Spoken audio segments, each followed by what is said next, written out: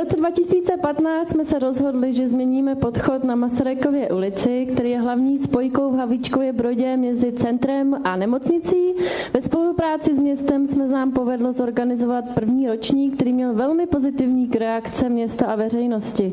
Povedlo se nám kompletně změnit atmosféru podchodu. Na základě úspěchu s ročníkem v roce 2015 jsme zorganizovali druhý ročník, opět jsme našli frekventované místo v ulici Chotěborská, zrekonstruovali jsme 36 metrů dlouhou stěnu pro kolektivní malbu a v parku budoucnost jsme připravili multikulturní festival, včetně uměleckých instalací. Eh, v některých městech dochází k problému vzájemného odcizování se a vznikají mezigenerační a kulturní propasti. Často pokud spolu lidé nekomunikují, dochází ke kompletnímu nezájmu a ignorování prostředí, ve kterém žijí.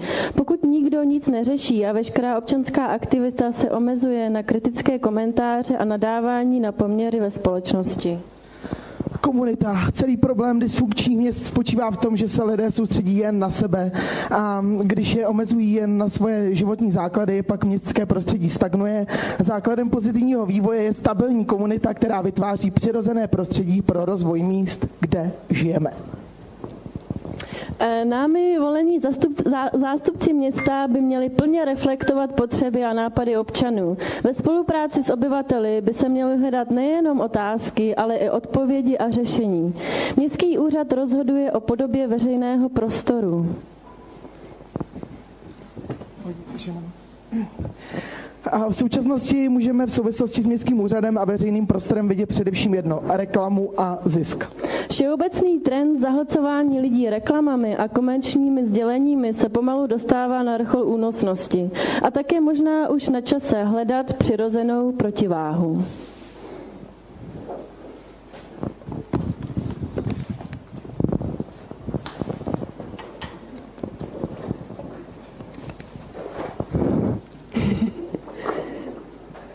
Se.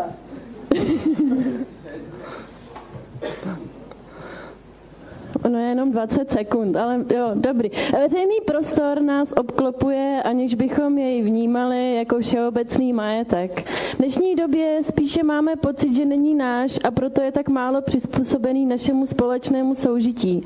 Musíme, společné, musíme si uvědomit, že je to náš jediný a společný prostor, musíme využít demokratických možností, které máme a potrhuji demokratický, aby, aby pro nás veřejný prostor fungoval, pro nás všechny, aby fungoval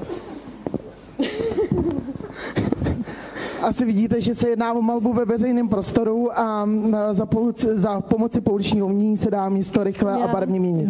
Veřejný prostor se dá skutečně kvalitně vyvíjet jen v dlouhodobějším konceptu. Náš společný veřejný prostor určuje pro velké míry kvalitu našeho žití ve městě. Záleží hodně na nás, jak ho budeme vytvářet.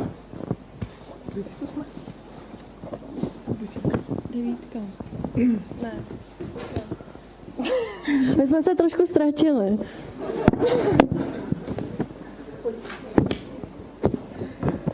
Jsme hodně interaktivní?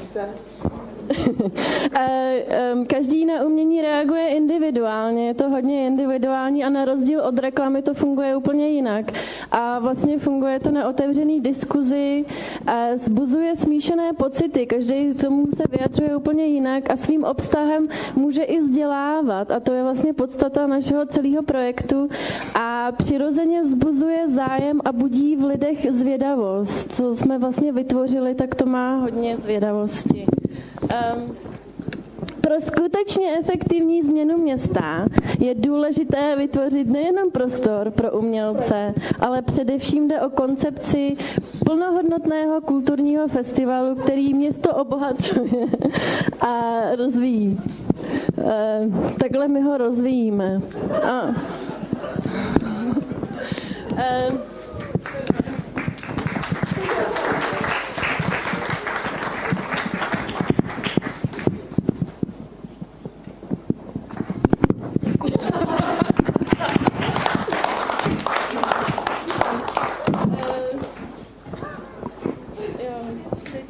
looking at come on, babe. that is it. OK, tři kategorie malé pivo, máme časový zkus. Single malby, a malby, kde se podílí více tvůrců a nakonec multikulturní festival. Já jsem, ty seš u... E, veškeré změny ve, veřejného prostoru zestřešuje a vytváří společný prostor pro umění, kulturu a odpočinek. Může lidem nabídnout umění v podobě aktivních workshopů, uměleckých instalací a které vznikají přímo na místě festivalu. Prostor festivalu propojuje návštěvníky a vytváří platformu pro komunikaci. E, tohle je kostel svaté Kateřiny, které je v Havlíčkově Brodě nedaleko centra.